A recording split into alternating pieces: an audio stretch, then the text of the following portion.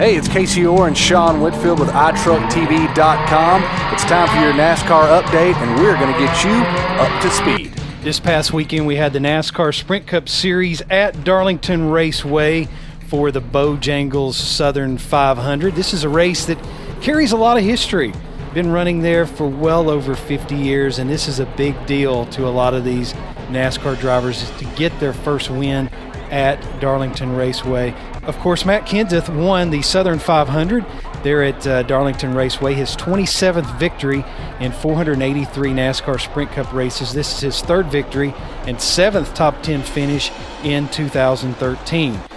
Second spot, we had Denny Hamlin. Third, Jeff Gordon. Fourth, Jimmie Johnson. And fifth, Kevin Harvick. Yeah, some other notables Sean Clint Bowyer finished in 11th, Martin Truex Jr. 12th, Tony Stewart, another poor finish this season in 15th. But I think the story of the night was Kyle Busch. Sean, he finished sixth, but he dominated the race, leading 265 laps. But at the end of the day, when it mattered in the final restart, Matt Kenseth and that 20 team, who's working with a backup crew chief, you know, uh, Ratcliff gets suspended, so Wally hops in there. He, he's crew chief for this race, this race only. They got a great final restart. He got out front, and Matt Kenseth, his third victory of the year, strong showing for that 20 team. It sure was. And as Casey, as you mentioned, uh, Kyle Busch, his strong performance, it was a huge night for all three teams with Joe Gibbs Racing because you had Denny Hamlin that got a second place finish.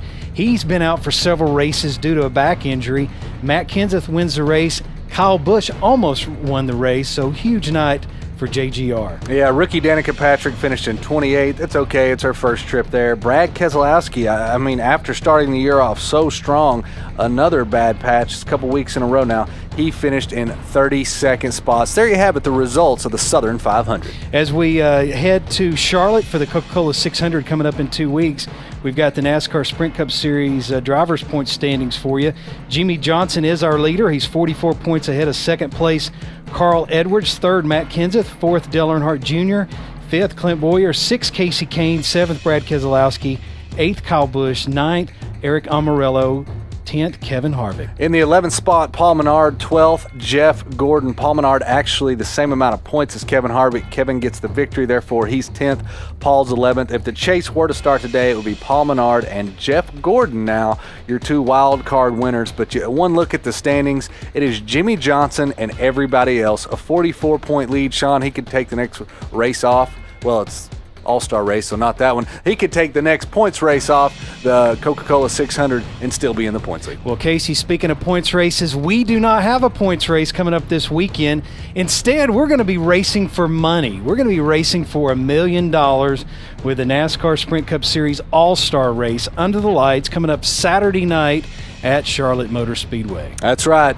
We're going to break down everything from the Sprint Showdown and the All Star race right here on the NASCAR Update at iTruck TV, where Sean and I keep you up to speed.